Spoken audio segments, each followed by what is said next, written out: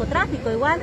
Bueno, esto es una denuncia que ha presentado el diputado Bazán. Asumo que en el marco de sus responsabilidades como parlamentario sabrá defender lo que ha presentado. Lo que sí le puedo decir es que con la campaña de Creemos, mi campaña que tuve yo en la presidencia, en la gobernación, no he tenido ni tengo ninguna relación con el señor Sandoval, ni he recibido ni hemos recibido ningún tipo de aporte, sea económico o materiales más.